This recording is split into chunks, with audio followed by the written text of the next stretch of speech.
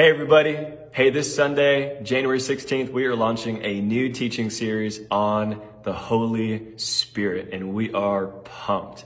Our, our big verse that we're going to continually go back to as we walk through this teaching series is in John 16, 7, where Jesus says to his disciples, It is to your advantage that I go away. For if I do not go away, the helper will not come to you, but if I go, I will send him to you. I don't know about you, but it's always been a challenge for me to reconcile that statement that Jesus made to my, my day-to-day reality. And, and I think honestly, most of us in a heartbeat would exchange the invisible spirit for a visible Jesus. I think most of us in a heartbeat would exchange an, an intimate interior life with God um, for an, an, exterior physical uh, life and relationship with God. Uh, wouldn't you? And so for us, like, as we go through the series, I just want to answer that question. Uh, the question of what was in the mind and the imagination of Jesus that led him to say those words. What is this reality that I have with the Spirit of God living in me that I'm missing out on? And if you're ever wondering the same, I would love for you to listen in on and participate in this teaching series. Um, throughout this teaching series, we're going to have three big themes. The first theme that's going to be uh, for the first three weeks of our teaching series is this the Spirit with the Father, the Spirit on the Son, and the Spirit in the church.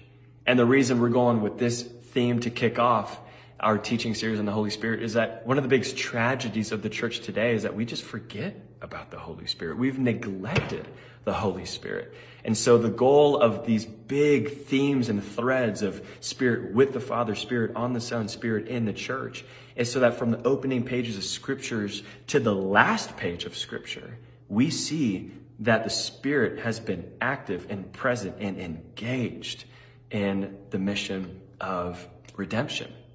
And so I want to just again invite you to be a part of the series, whether you grew up Methodist or Lutheran, Baptist, Pentecostal, Reformed, non-denominational. I would love for all of us to be united and to listen in on and participate in this series, all dedicated to the person and the presence and the power of the Holy Spirit. You can join us on Sundays at 10 at Laurel Church at our physical location. You can also join us at that time on Facebook. We still stream on Facebook. So go ahead and search and find us on Facebook. You can also search and find us on YouTube because 95% of the time on Mondays, we upload our messages and our worship onto our YouTube channel. So feel free to search us uh, through YouTube. Type in Laurel Church Bellingham. You can subscribe to our channel, listen in on the teaching content uh, through that platform as well.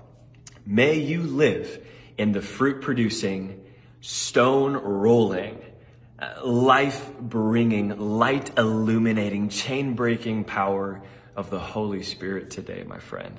And I hope to see you sometime during this teaching series. Peace.